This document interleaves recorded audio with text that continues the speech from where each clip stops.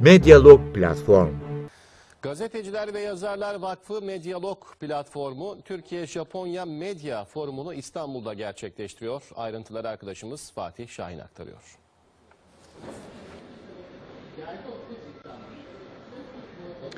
Evet, Gazeteciler ve Yazarlar Vakfı Medyalog platformunun düzenlemiş olduğu Türkiye-Japonya Medya Forumu'ndayız.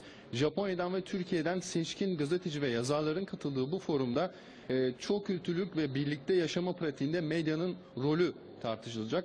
E, bunun yanında e, Japonya medyasında Türkiye, Türkiye medyasında Japonya algısı, medya ve demokrasi ve aynı zamanda dijital çağda yeni medya konuları ele alınacak.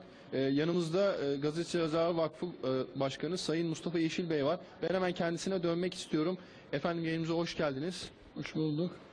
Şimdi e, Türkiye ve Japonya'nın ilişkileri uzun yıllara dayanıyor. E, bunun yanında ekonomi ilişkileri var, kültürel ilişkiler var. İki ülkenin kendisine e, kültürel açıdan yakınlığı da gerçekten e, e, azımsanmayacak kadar önemli. E, bu boylamda Türkiye'nin e, Japonya ile ilişkisi adına Gazeteciler Yazarlar Vakfı'nın düzenlemiş olduğu bu programı nasıl değerlendiriyorsunuz? Tabii e, şu anda Türkiye-Japonya Medya Forumu'nun benzerleri zaten yıllardır e, vakıf tarafından yapıla gelmekte. Bu bizim ilk yaptığımız bir toplantı değil ama Japonya medyasıyla bu denli geniş e, ve güçlü medya mensuplarının katıldığı müstesna toplantılardan bir tanesi bu tabii ki. Daha önce biz gerek e, Rusya, gerek Almanya, gerek Fransa, gerek Afganistan medya mensuplarıyla da benzer forum tarzı çalışmalar yaptık. Özellikle Japonya'nın e, ülkemizde hem kültürel hem eğitim hem iş alanında e, önemli hamle, hamleler ve adımlar atması yanında medya alanında da bu manada yapılacak çalışmaların biz çok önemli olduğu kanaatini taşıyoruz. Tabii Japonya'da var olan eğitim faaliyetleri ve oradaki e, Japon halkının kültürel değerleriyle ortak aynı zamanda kendi e, Anadolu kültürünü tanıtmaya çalışan ve orada faaliyet yürüten arkadaşlarımızın da katkılarıyla bugün e, gerek televizyon gerek haber ajansları gerekse e, oradaki なわけですがおそらくは、えー何十年か近、えー何十年ぐらいでしょうかね日本はあの50年後には 人口もしかしたら8500万人になると Ama son zamanlarda bunlarla ilgili yayınlar artmaya başladı. Türk-Japon kardeşliğin temelidir. Mesela Kore ile Türkiye arasında bir Kore Savaşı geçmişi var. Bunu e, Kore'de bile Türkiye'de biraz daha diri durur. ve bu toplantıların bu anlamda e, buna büyük katkı yapacağını düşünüyorum.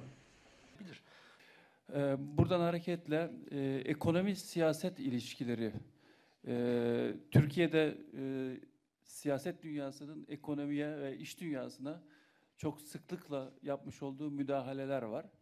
E, Japonya'da bu durum nasıl? Yani Japon modelinde, ekonomik kalkınma modelinde siyaset ve ekonomi ilişkileri nasıl e, devam etmekte?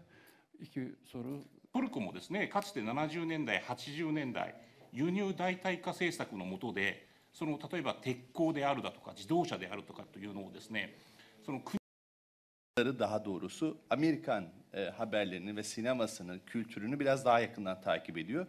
Buna rağmen Amerika'yı dost ülke görmez iken Japonya'yı o kadar farklı fazla takip etmeyen bir ülke olmasına rağmen Japonya'yı bir dost ülke olarak gördüğünü de tespit ediyoruz. 981人ものジャーナリストがね、逮捕されているというのは、えー、こう日本にいるとですねあのトルコというのはこう民主主義の国言論の自由がそれなりに保障 ama medya özgürlüğü konusunda geçen e, geçen hafta yayınlanan bir raporda, bir milletvekilinin yayınlamış olduğu raporda sadece 2014 yılında yani bu yılın ilk yarısında bine yakın yani 981 tane e, gazeteci işten çıkarılmış e, durumda, işini kaybetmiş durumda ve eleştirel e, görüşler ifade eden gazeteciler ve yayın kuruluşları büyük zorluklarla karşılaşıyorlar. Yani basın ve ifade özgürlüğü demokrasilerin şaşmaz bir barometresi niteliğindedir bana göre ki bu evrensel olarak da öyle kabul edilir. bir ülkedeki basın özgürlüğünün durumu o ülkenin demokrasinin barometresi niteliğinde olduğu gibi tersi de doğrudur. Şayet bir ülkenin medyası özgür değilse gazeteciler baskı altındaysa ya da medya organları ve gazeteciler iktidar odaklarıyla olması gereken eleştirel mesafelerini kaybetmişlerse o ülkede hakiki bir demokrasiden bahsetmek de imkansız hale gelir. 地元の人々が聞き間違えたり明らかにハマスの攻撃音がしたのに口裏を合わせて嘘をつくような嘘をつくのは容易ではありません Medyalog Platform